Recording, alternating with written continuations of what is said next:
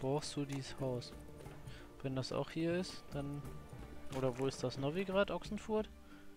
Also, ja, Ochsenfurt. Im Dings, im Buch ist es Novigrad.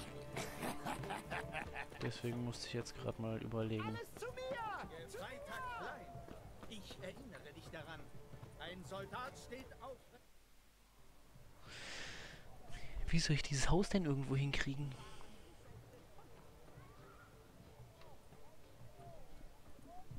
Ist das das Borsodi-Auktionshaus? Scheint so. Gefreiter Klein, du bist im Dienst. Schon vergessen? Mit Zivilisten wird nicht geplaudert. Zweck des Besuchs?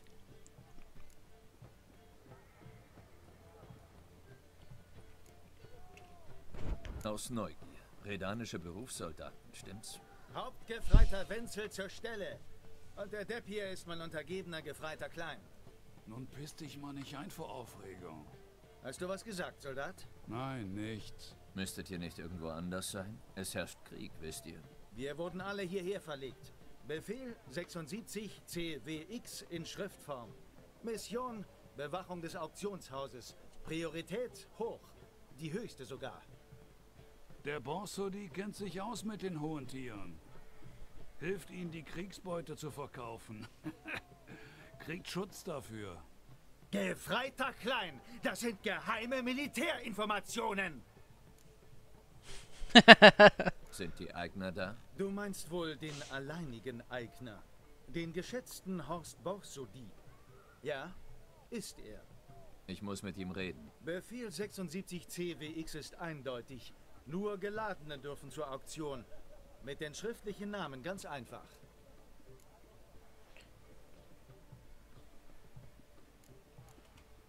Und das soll euch hindern? Also bitte. Ich fürchte, du hast Pech. Befehl 76 CWX besagte ferner, Hauptgefreiter Wenzel möge sich einen Besen in den Arsch stecken. Klein! Weißt du eigentlich nicht, was auf Vorgesetztenbeleidigung steht? Wen haben wir denn da? Gerald, der Hexer aus Riva. Vinme Vivaldi, der Bankier aus... Woher kommst du eigentlich? Wen kümmert es, Kollege? Geld kennt keine Grenzen. Was geht hier vor, Hauptgefreiter Wenzel? Du zankst dich mit meinem Kumpel Gerald? Meister Vivaldi, Herr, dein geschätzter Sozius hat keine Einladung zur Auktion. Und ich... Äh, Aber ich habe eine Einladung, verdammt noch eins. Und er kommt mit mir. Rein mit dir, Gerald. Aber meine Befehle... Ach, drauf geschissen. Muss ich erst zum Feldwebel gehen? Hoffentlich nicht. Jetzt stramm gestanden und Mund gehalten. Oh, die Jungs in der Kaserne werden sich am Boden wälzen. Ruhe! Vorwärts Marsch! Rundherum! Eins, zwei, eins, zwei! Ja, man, Vorgesetzte ärgern, immer super.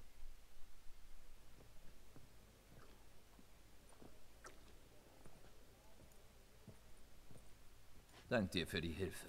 Schon gut. Ich kümmere mich gerne um alte Freunde und Kunden. Welch Freude, mit dir Geschäfte zu machen, Wimme. Das hat meine liebe Verblichene auch immer gesagt. Aha, die Leute kommen zusammen. Die Auktion fängt gleich an. Lass uns raufgehen.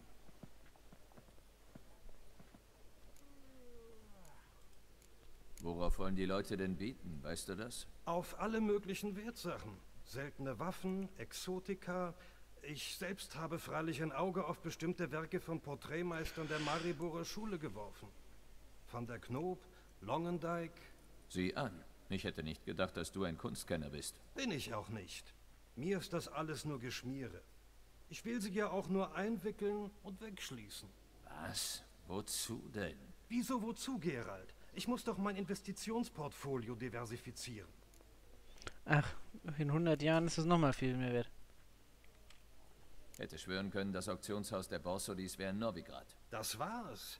Sie sind umgezogen. Radovid hat Horst einen vorteilhaften Steuersatz angeboten. Weißt du, null Prozent. Hm, schwer zu unterbieten. Nicht wahr? Hm. Das ist der Inbegriff staatlichen Wohlwollens. Eigentlich will ich hier nur Horst Borsody sprechen. Oh, das könnte schwieriger sein, als du denkst. Warum? Der reinste Einsiedler ist der Mann. Gar nicht wie sein Vater. Melitele, hab ihn selig. Aber bei der Auktion taucht er vermutlich auf. Dann stelle ich euch vor. Ich stehe in deiner Schuld. Ach, Unfug. Ich mache nur in Krediten und Eigenwechseln. Also, rauf mit uns. Wie viel Knete habe ich eigentlich? Weißgold und Perlmutt mit Intarsien aus Topaz. Verkauft an Madame Wilhelm. Kleid aus Haki-Seide mit Amethystperlen. Eröffnungspreis 2000 Kronen.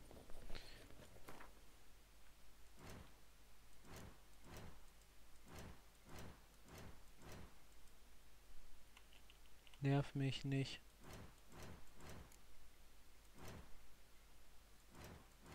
Ach, ich kann jetzt nicht ins Inventar? Wollt ihr mich eigentlich verarschen?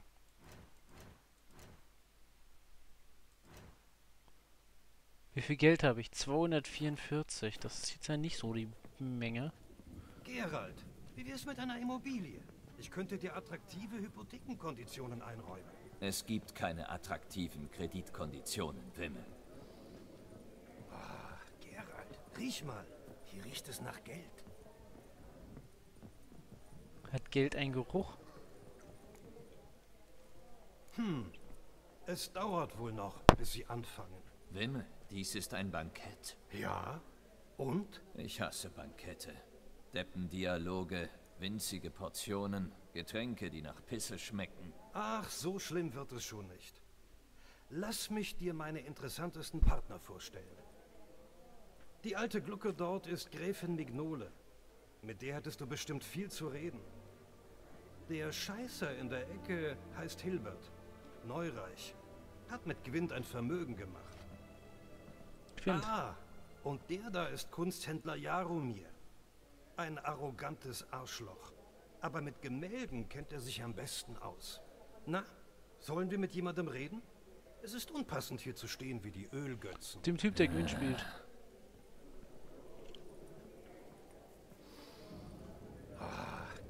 Gerald, riech mal. Hier riecht es nach Geld. Wo war denn der Typ? Die Olle und gegenüber hinter den Ladies der Typ, der nach Gwyn spielt. Was führt dich her?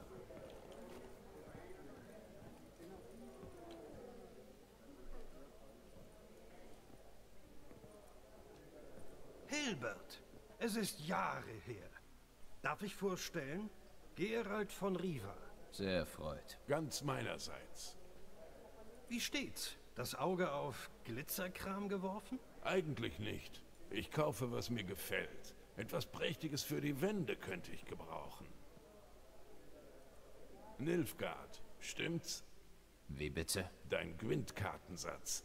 Nilfgaard, nicht wahr? Gib's schon zu. Äh, normalerweise Monster. Nein, im Moment nördlich Kein Königreich. übler Satz, Nilfgaard, aber ich ziehe trotzdem die nördlichen Königreiche vor. Ah, verstehe. Ein Patriot. Du musst wissen, Hilbert. Gerald hier ist ein Spitzenspieler. Spitze. Es dauert noch, bis die Auktion beginnt. Knuff, knuff, zwinker, zwinker. Wie wär's mit einem Ründchen? Auf jeden. Was, so viel? Wobei, wenn ich gewinne... Ich habe 250, kann ich ja mal... Hier, komm. Es geht wohl nicht um Sieg oder Niederlage. Gut, ich bin dabei. Herrlich. Ich lege meine Karten aus. Oh, bitte. Natürlich. Gerald, kommst du mal auf ein Wort? Was denn? Also, Kumpel, ich habe euch doch verkuppelt. Da finde ich, mir steht ein Teil des Gewinns zu, wenn du einen machst. Zehn Prozent? Finderlohn quasi. Jetzt ist mir klar, warum du uns vorgestellt hast. Zu meinen professionellen Erkenntnissen gehört, dass Geld nicht stinkt. Also, was sagst du? Ja, komm, kriegst du. Nichts da, na schön. Naja, du hast mir auch bei den Wachen geholfen. Gut, 10% meines Gewinns sind dein. Wie wär's mit 15? Übertreib's nicht, Wimmel. Na gut, abgemacht. Ich hätte alles setzen sollen. Oder gar nichts. Je nachdem, ob ich jetzt übelst auf Fresse kriege oder das voll durchziehe. Ich hoffe, das passt so. Wie viel habe ich das? 3, 3, 1. 1, 1, 1. Das muss jetzt so gehen. Ich hoffe, das passt. Oh, was hat der? Was kann der denn? Glaube, von dem Zeug brauche ich nur einen. Und ich glaube... Fernkampf 2. Ich glaube, die schicke ich mal in die Versenkung. Ja, dafür Jennifer gekriegt. Läuft! Was kann der? Äh, einer in Schlachtfeld. Fähigkeiten, die Einheiten auf dem Schlachtfeld wiederherstellen. Stellen zu fähig ausgewählte Einheit wieder her. Wirken auf beide Spieler. Hm. Erstmal will ich ein paar Karten ziehen. Ciri und Katapult. Geil. Er nimmt das und darf auch wieder was ziehen. Er spielt Nilfgaard. Dann so ein Popelkram. Ähm, den auf die Hand. Schmeißt ihn mir hin. Ich nehme ihn... Hatte ich nicht eine Puppe? Ach so, nee, ich kann ihn töten und in der nächsten Runde mit Jennifer wiederholen. Das war's.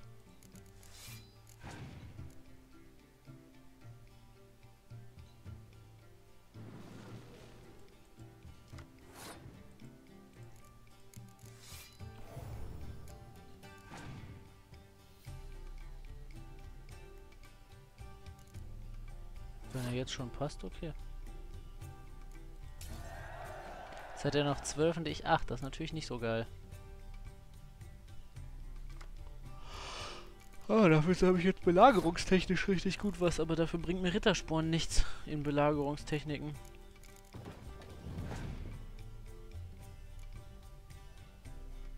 Wobei bringt sein Typ mit Fähigkeiten, die irgendwie wiederherstellen, bringen für beide was. Bei Jennifer, weil sie ja eine Spezialkarte ist.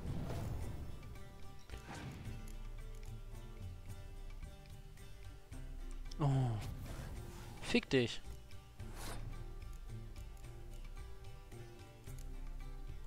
Das werden wir jetzt sehen. Kriegt er auch was wieder?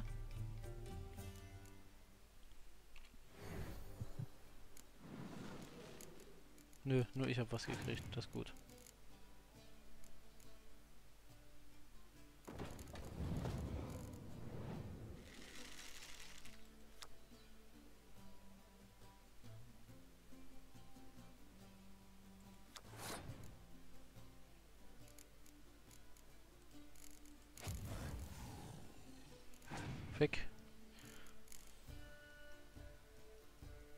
Toll, dafür kriegst du jetzt einfach mal nix. Diese Runde. Jetzt hat er noch sieben und ich auch. Jetzt könnte ich natürlich darauf setzen, dass er irgendwas spielt, was sich verdoppelt. Oder ich könnte passen und dann in nächste Runde. Ja, ich glaube, ich passe, mache in der nächsten Runde weiter. Ob das jetzt eine gute Idee war, weiß man natürlich nicht.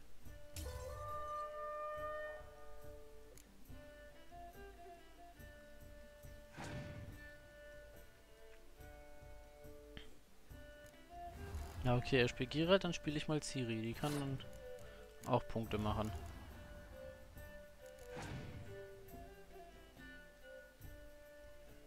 Ein Bogenschütz, der was wiederbelebt. Jetzt müsste ich das doch auch kriegen, oder?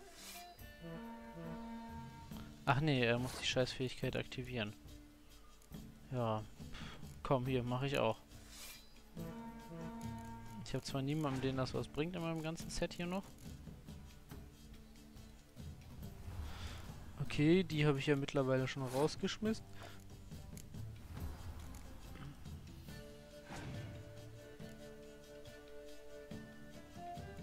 Zehner.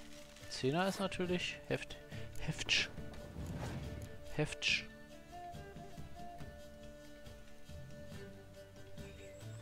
Er spielt gutes Wetter. Ich spiele das. Ich hoffe, er hat jetzt nicht wieder was. Hey, zerstöre alle möglichen Sachen. Ne, noch ein Zehner. Spiel das. Komm, jetzt spiel schlecht Wetter. Einfach so. Nochmal 10. Alter. Wobei 6, 12, 18, kriege ich 18 dazu, dann dürfte das gehen. Haha!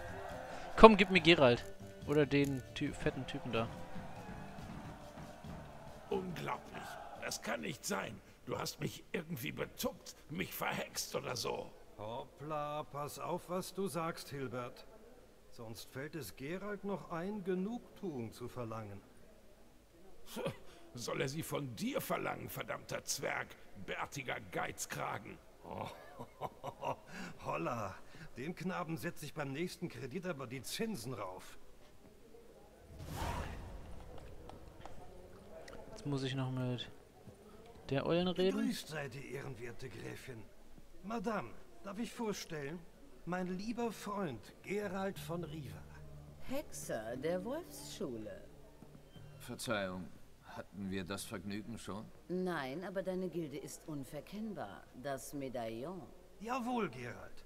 Gräfin Mignole ist eifrige Sammlerin von Veduminalien. Vedumi... was?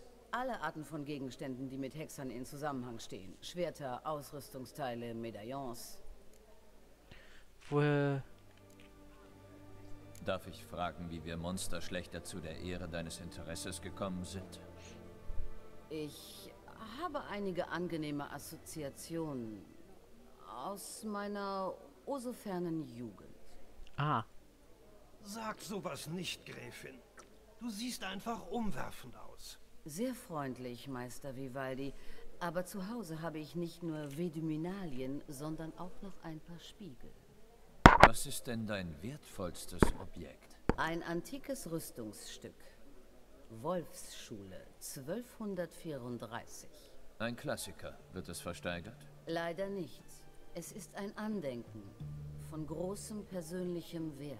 Aber vielleicht hat die Gräfin noch andere Hexerdevotionalien, von denen sie sich trennen würde. Ich würde bescheidene 5% äh, Transaktionsgebühr berechnen. Vivaldi? Wimme, ich kenne niemanden, der sich so geschickt die Moneten anderer Leute krallt wie du. Aber was soll's?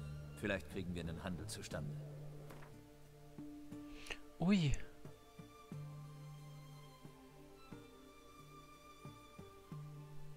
Hä? Rüsto, was ist denn das? Hose, Viper.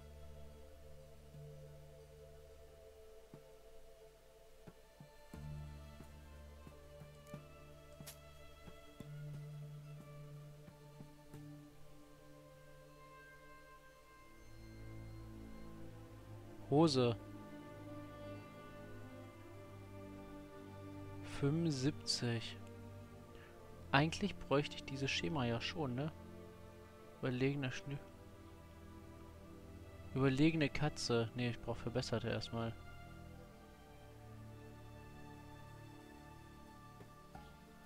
Aber die hier brauche ich, glaube ich.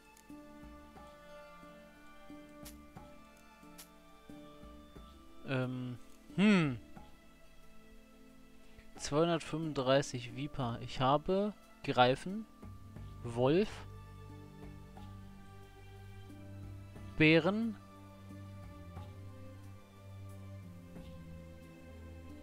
Greifen. Ach, das hier ist die Schule für 77. Ich habe, glaube ich, Greifen, Wolf, Bären und Schlangen. Dann habe ich die Vipern noch nicht.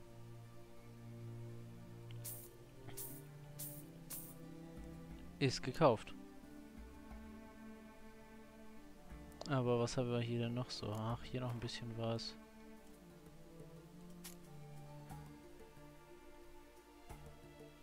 Chance auf Blutung, Zeichen, einfrieren, 2%. Angriff, ja, dieses Angriffszeug benutze ich sowieso nie. Vergiften. Kleine Rüstungsdurchbohrung braucht sowieso ich nicht. Taumeln, wie viel? Was ist das denn? Fünf und das hier sind drei. Weg. Zeichen, Zeichen. Weg. Adrenalin, Betäubung. Vergiften. Adrenalin, Adrenalin. Schnell sortieren einmal bitte. Verbrennen. Bluten. Vergiften. Zeichen. Bluten. Hatten wir Bluten nicht eben schon? Drei auf Bluten. Hier, nimm hin.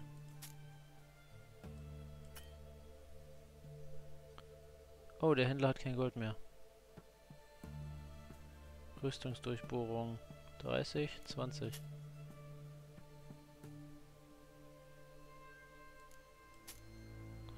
So. Hat die Gräfin heute etwas Bestimmtes ins Auge gefasst? Nein, aber laut Horst Borsody kommt etwas unter den Hammer, was mich interessieren dürfte. Er hat wohl nicht gesagt, was es ist? Nein, du kennst ihn doch. Ein wandelndes Rätsel. Übrigens, Meister Gerald, würdest du wohl einer Dame in Not helfen? Kommt auf die Art der Not an. Oh, es ist nur eine Kleinigkeit. Ich habe gerade einen Ohrring auf dem Balkon verloren. Ich kann ihn nicht finden. Vielleicht ist er durch die Dielen gerutscht. Ob du mit deinen Katzenaugen... Ja, wir sind mal nett zu Kein allen Problem. Leuten. Ich sehe mal nach. Ich bin dir sehr dankbar. Bis gleich dann, Wimme.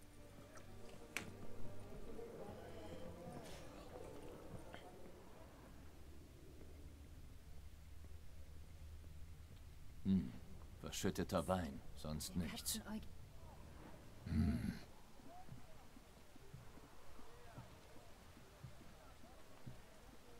Hier gibt's gar keinen Ohrring, oder?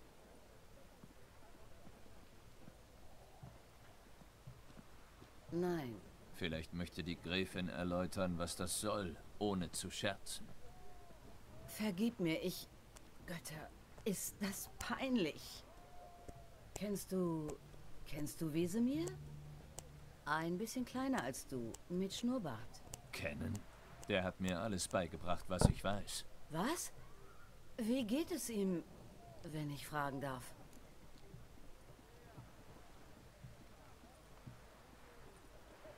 Oh, stimmt, der ist ja gestorben. Der ist ja schon tot.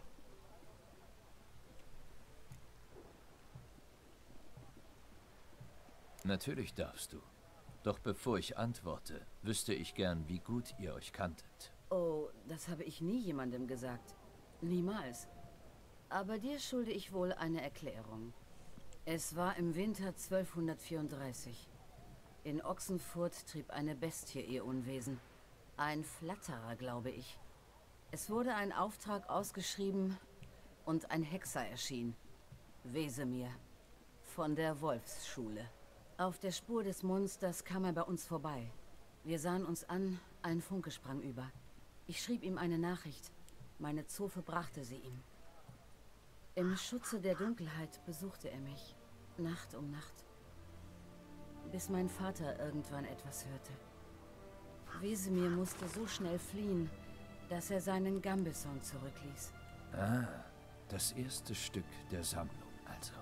Ja, aber auch das Ende unserer Liebe. Vater ließ einen Haftbefehl ausstellen und verheiratete mich sofort. Ich hatte Glück. Mein Mann starb jung und hinterließ mir ein Vermögen. Und so lebe ich von Erinnerungen.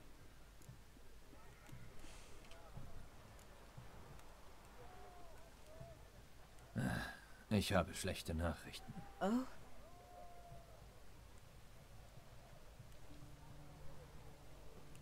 Bitte sag mir, starb er wenigstens wie ein Hexer? Yep. Nein, er starb wie ein Held.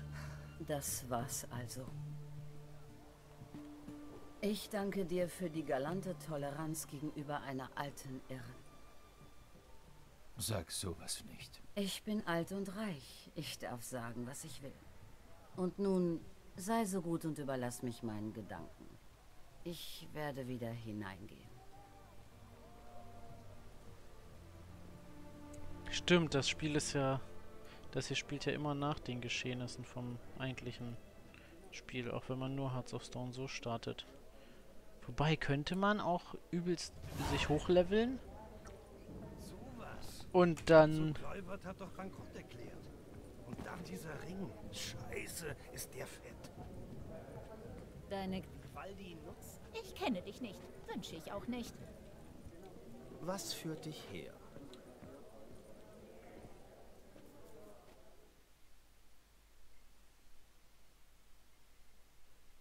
Habe ich jetzt... Oh, ich habe einen von den Freunden übergangen. Ups.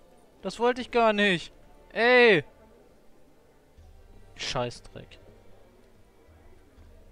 Der hätte mir die- Nimme, hör mal. Ich habe vergessen, dich zu fragen, wie die Auktion abläuft. Sie bringen drei Objekte raus. Wenn die verkauft oder nicht verkauft sind, gibt es eine Pause. Dann taucht Borso die hoffentlich auf und ich stelle euch vor. Ich verlasse mich drauf. Und bis dahin, hast du ein Budget?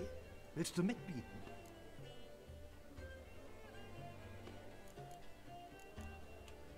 Natürlich. Jetzt habe ich mich schon hier reingeplagt. Da werde ich es doch mal ausprobieren.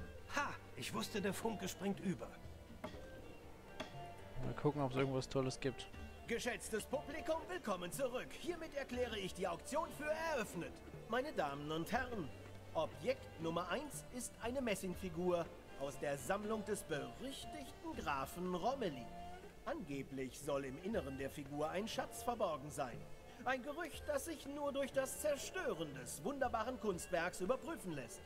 Eröffnungspreis 50 Kronen. Ein echtes Schnäppchen. Wer bietet zuerst? Meister Hilbert bietet 100. Gräfin Mignole bietet 150. Höre ich 200? Wer möchte bieten? Ne, ich möchte nicht bieten hierbei. Zum ersten, zum zweiten, zum dritten. Der ehrenwerte Jaromir bietet 300. Hören wir mehr. 300 zum ersten. Die Gräfin bietet 350 zum ersten, zum zweiten. Objekt Nummer 1, die geheimnisvolle Messingfigur geht an Gräfin Mignole. Nun kommen wir zu Objekt Nummer 2. Ein Gemälde des jungen Novigrader Künstlers Van Roch. Sternennacht über dem Ponta. Ein charmantes Werk. Eröffnungspreis 20 Kronen. 20 Kronen, wertes Publikum. Das ist praktisch geschenkt. Ja, der Herr mit den Katzenaugen bietet 20. Höre ich 30? 20 zum ersten, zum zweiten, zum dritten. Verkauft! Sternennacht über dem Ponta von Van Roch geht an den Herrn mit den Katzenaugen. Toll, jetzt habe ich 20. Objekt Nummer 3, Damen und Herren, eine Rarität. Selten wie ein Hühnerzahn. Eine Brille. Mit Goldrahmen und Bergkristalllinsen, gefertigt von den kundigen Fingern der Gnomenmeister. Einst Eigentum des berüchtigten Auftragsmörders, der als der Professor bekannt wurde. Den habe ich abgemurkst. Eröffnungspreis 200 Kronen. Wer bietet mehr? Gewinnt Meister Hilbert, bietet 250. Höre ich drei? Ja, so soll es sein. 300 von Jaromir Ivanovich Zaitsev. Zum ersten, zum zweiten. Ja, 350. Unglaublich! Mit dem weißhaarigen Herrn sind wir jetzt bei 350 Kronen. Großzügiges Angebot, wirklich. Gibt es noch Gebote? 350 zum ersten, zum zweiten. Verkauft! Die unschätzbare Brille geht an den weißhaarigen Herrn. Ich freue mich, dass sie so nützlich ist. Welch eine Aufregung! Nach den drei Objekten ist es Zeit für eine Pause.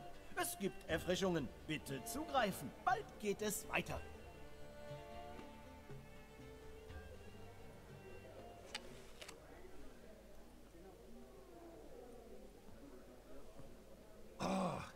Gerald, schau!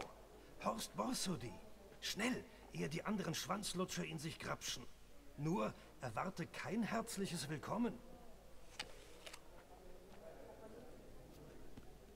Ach so, einfach einen Apfel irgendwo in den Raum schmeißen. Grüß dich, Horst. Gestatte mir, dir einen lieben Freund und Partner vorzustellen. Gerald von Riva, der...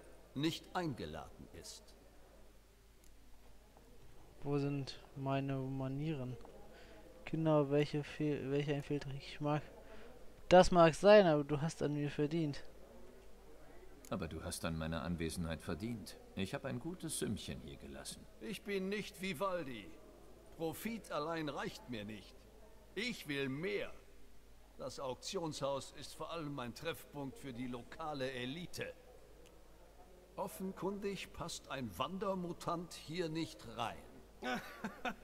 Ich habe das nagende Gefühl, dass ihr zwei einen schlechten Start hattet. Vielleicht sollten wir trinken auf... Was will deinesgleichen von mir? Schön, sparen wir uns die Floskeln. Maximilian Borsodis Haus. Ich muss es finden, was immer es... Was? Wie hast du davon erfahren? Meine Herren, kein Grund, die Kontenance zu verlieren. Bitte, beruhigen Sie sich. Ich fragte, wie hast du davon erfahren? Boah, ganz ruhig. Wo?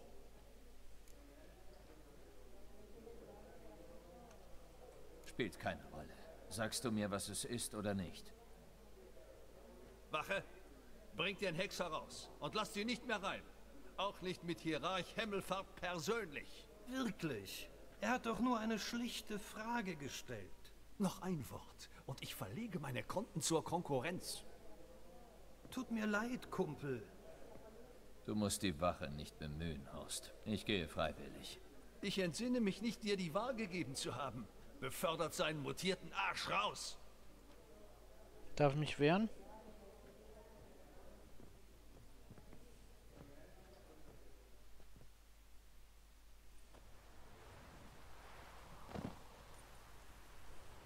Deine Schwerter, Meister. Wir müssen sie zurückgeben, sagt das Gesetz. Das Gesetz sagt aber nicht wann. Tun wir es, wenn wir aus dem werten Herrn die Scheiße rausgeprügelt haben. Mhm. Treffpunkt für die Elite, wie wahr. Kommt, Jungs. Lockern wir die Muskeln. Schlechte Idee. Ach so. Ach, ich kann nicht rollen, das ist ja schön.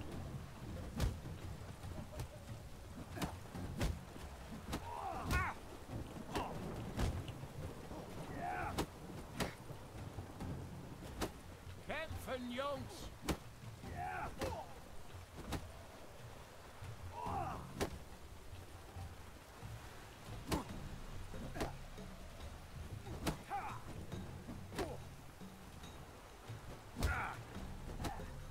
Deine An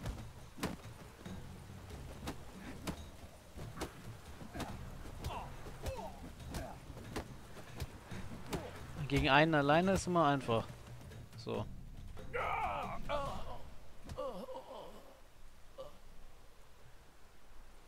Das Gesetz sagt, wenn jemand verletzt ist, hole einen Heilkundigen. Das Gesetz sagt aber nicht, wie schnell. Man kann ein Weilchen warten.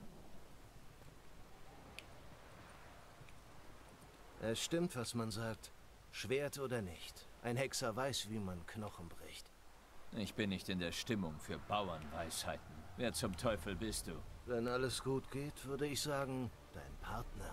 Ich brauche keinen Partner. Oh, da bin ich nicht so sicher. Alleine kriegst du Max Borsodis Haus niemals. Woher weißt du, dass ich nach dem Haus suche? Und du meinst, du kannst mir helfen? Hm. Woher weißt du, dass ich nach dem Haus suche? Ich war bei der Auktion. Getarnt natürlich. Die Auseinandersetzung war nicht zu überhören. Komm zur Sache, wenn möglich. Um das Haus zu kriegen, musst du erst in die Schatzkammer gelangen. Und aus Freundlichkeit lässt Horst dich dann niemals rein. Ein Raub? Diese Idee gefällt mir nicht. Hast du eine andere? Geh zum Kräuterkundler bei Ochsenfurt und frag nach Schafgarbenextrakt. Er wird wissen, warum du gekommen bist. Wenn das eine Falle ist. Bis dann. Hoffentlich.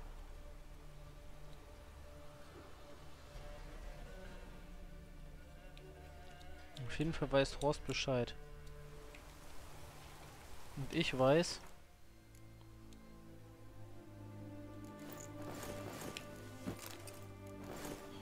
dass ich andere Klamotten wieder anziehen will. So, wo ist das scheiß Dings? Kräuterkundlerhaus? Ah, du, du, pff, Haus am Arsch der Welt ist das. Das ist ja schön.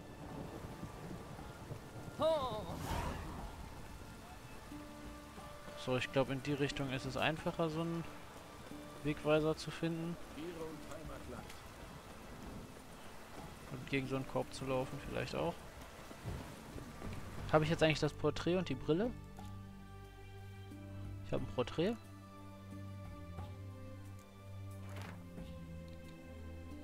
Ach, in einer falschen Sprache, was ist Schema?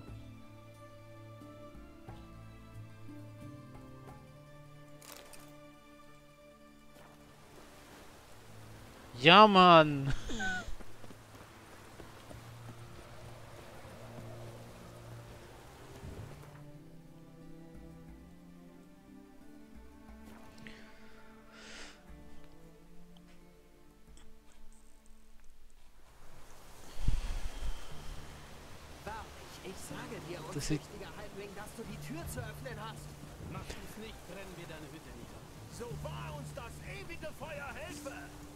So, ich schlag die beiden Typis aber erst beim nächsten Mal zusammen. Bis gleich.